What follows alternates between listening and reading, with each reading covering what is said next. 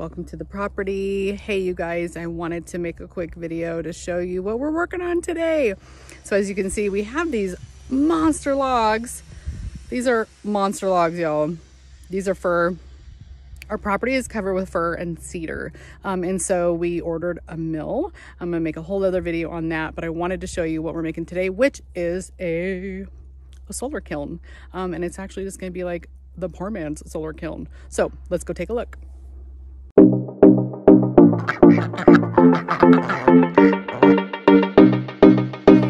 Mommy, what'd you get?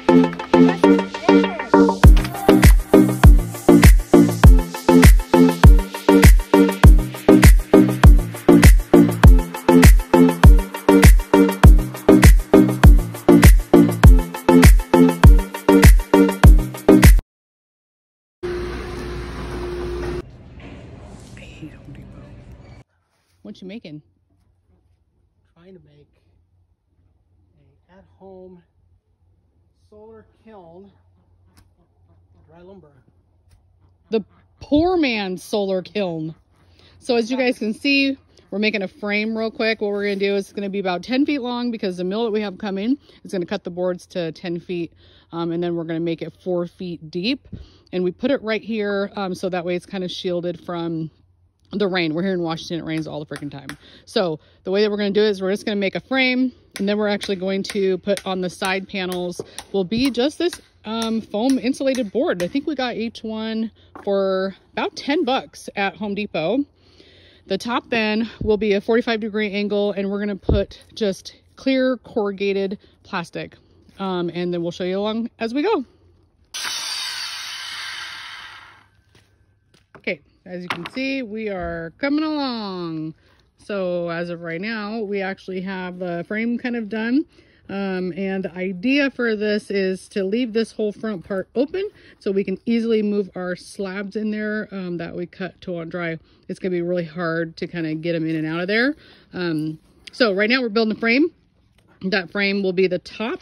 It's gonna be a lid and the lid will have corrugated, um, that corrugated plastic on it. So then we'll screw it in place. Be super, super easy, I think. I say that because I'm not the one building it, but it'll be all right. So we'll screw it in place and then that way um, it's just easy. We can unscrew it, take the lid off, access the wood. We could put hinges on it, but we've just decided to save a buck. Obviously you can see we're winging it type of people. So we're just gonna, we're kind of winging it, huh babe? Yeah. And uh, we're just kind of piecing some lumber together that we have laying around. So don't need to spend a ton of money on it, but hey, use what you got.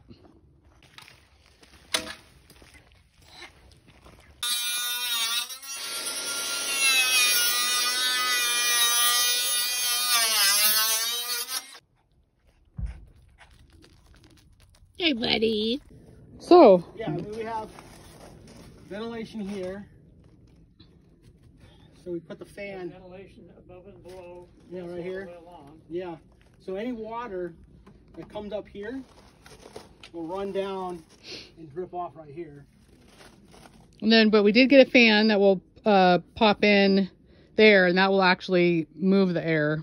So the idea would be that the sun's coming on from this side, uh, heating it up, and then it gets nice and toasty inside. What'd you say it looks like, Pat?